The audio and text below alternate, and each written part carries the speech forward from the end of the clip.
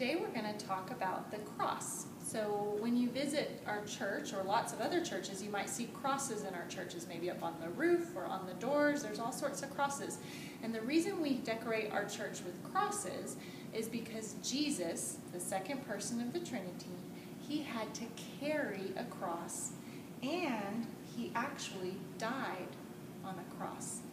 And so we remember how much Jesus loved us when he died on the cross. And that's why we decorate our churches with crosses sometimes. And we have a special prayer that we can remember the way that Jesus carried his cross. And that prayer is called the Stations of the Cross. You can pray the Stations of the Cross any time of the year, but a lot of times we pray them during Lent. And right now it's Lent, so we're going to learn about the different stations. So there are 14 stations of the cross. And stations just kind of means like stops along the way. So Jesus had to carry his cross from the city of Jerusalem all the way to Calvary where he died on the cross. And he had different stops along that journey, and those are the 14 stations of the cross. So we're going to learn about those today. And I have a special way that we can learn about them. I put together some different objects to help us remember all the 14 different stations, because that's a lot to remember, okay? So, we're going to start with station number one. This is number one. And in station number one, the governor tells Jesus that he is going to be crucified. He's going to die on the cross. And you see that the governor put rope around Jesus' wrists.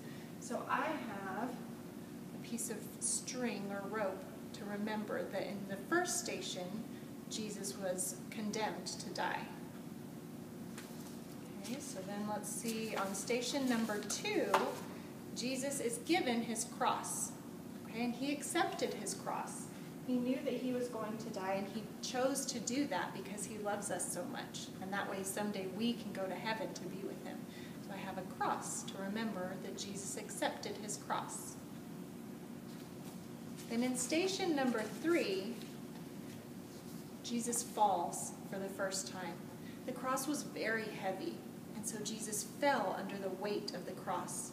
When you fall at home and skin up your knee, I bet your mom puts a band-aid on it. So I have a band-aid to help us remember that Jesus fell for the first time. Then in station number four, Jesus meets his mother, Mary.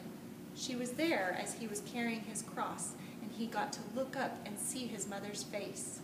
I have a picture of Mary to put in our kit to remember that Jesus met his mother along the way.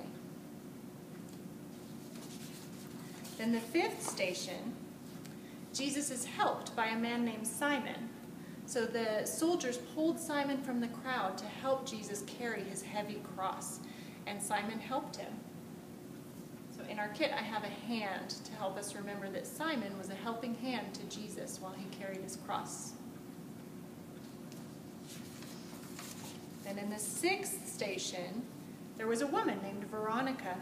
And Veronica saw how Jesus had sweat and blood on his face, and she wanted to wipe his face. So she took her veil and she gently wiped the face of Jesus. And when she pulled it back, she saw that there was a picture of him on her veil. It was a miracle. That happened along the way of the cross. That's the sixth station. Now, in the seventh station, Jesus falls for the second time. That cross was so very heavy.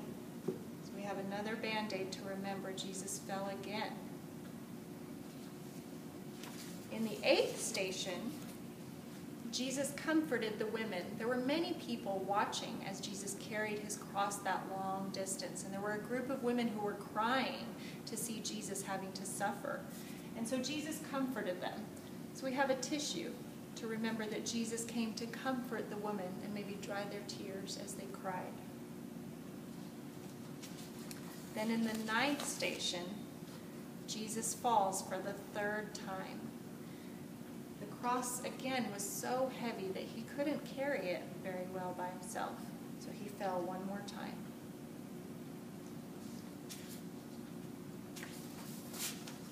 In the tenth station, Jesus is stripped of his garments. So when they got to the place called Calvary, the soldiers took away his clothes. So we have a piece of, a, like a little tunic that he might have worn.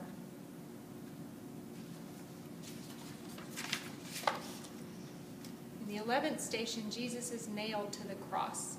And the soldiers, they put nails through his hands and through his feet so that they could crucify him. So I have three nails in our kit to remember the 11th station where Jesus was nailed to the cross.